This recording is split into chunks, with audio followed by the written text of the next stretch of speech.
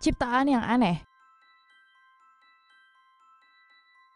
Bicara tentang beberapa ilmu yang aneh, Penelitian baru yang diterbitkan dalam jurnal Nature Biotechnology menjelaskan bagaimana para ilmuwan dari Salk Institute mentransfer sel otak manusia ke anak tikus. Newsweek melaporkan bahwa peneliti mengambil sel otak dari janin manusia, mengubahnya menjadi hijau neon dan memasukkannya ke dalam otak tikus. Mereka tidak membuat pasukan pria tikus. Sebaliknya, mereka berharap hewan pengerat manusia akan mengajari mereka lebih banyak tentang pikiran kita sendiri. Para peneliti juga menempatkan jendela plastik kecil di atas tengkorak hewan untuk melacak bagaimana sel-sel manusia berkembang di lingkungan baru mereka. Ini diamati selama beberapa bulan dan sel-sel otak manusia ditemukan melebihi jumlah sel-sel otak tikus di beberapa daerah. Begitu juga tikus kecil manusia menjadi lebih pintar? Tidak, mereka tidak lebih cerdas daripada tikus lain. Namun, seperti yang dilaporkan oleh Newsweek, penelitian dapat mengarah pada beberapa aplikasi yang cukup hebat seperti digunakan untuk membantu pasien dengan kerusakan otak.